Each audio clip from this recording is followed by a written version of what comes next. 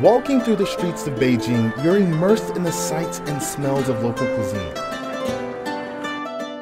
But one dish is so embedded in the city's DNA that it even bears its name.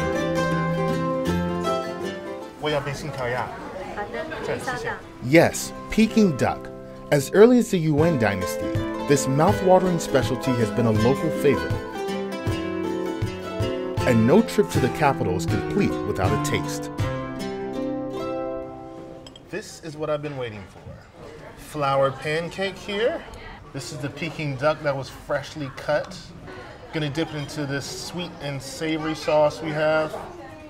Next up, cucumbers. And then we have scallions here. All right, bon appetit. Oh, so good. You can taste the meat, it's kind of crunchy on the outside and then the sauce is sweet, mixes with the cucumbers. It's like a birthday present for your mouth. The duck I'm eating now was cooked by Bian Yi Feng. The 600 year old restaurant uses a closed oven technique that doesn't utilize an open flame. The method is cherished enough to have a spot on China's intangible cultural heritage list. Bai Yongbing is the inheritor of the cooking style and has been practicing his craft for 40 years. So I just tried the Peking duck upstairs, and now I kind of wanted to see the background about how it's made. 这个烤鸭子虽然好吃，但是它制作起来非常复杂。首先，它要用北京甜鸭，而且要日龄在三十九天到四十一天，这个分量在六斤到六斤二两。在烤制之前呢，这鸭子还要堵塞儿、灌汤。 Okay. Ducks are filled with a special soup and hung inside the oven, where the heat radiating from the inner walls produces a tender result.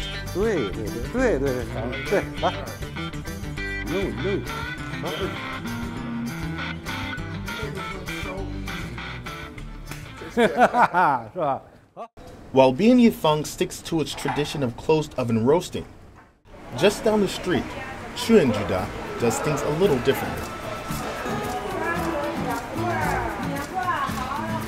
Quanjude traces its history back to 1864 during the Qing dynasty.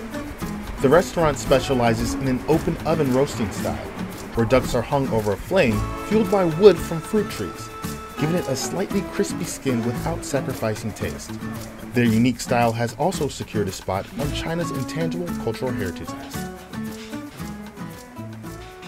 Inside the kitchen, the way they cook the duck here is very different from Bian Yi Feng. It's cooked in an open oven.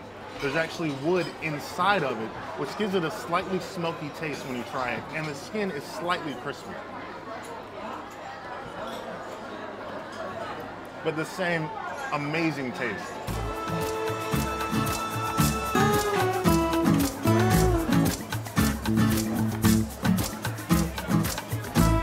I've tried two unique styles of Peking duck, both using time honored traditions to produce tasty results. So whether you choose Bian Yi Feng or Quanjude the next time you have a Peking duck craving, you're almost certain to have a meal worth remembering. That's good. That's good.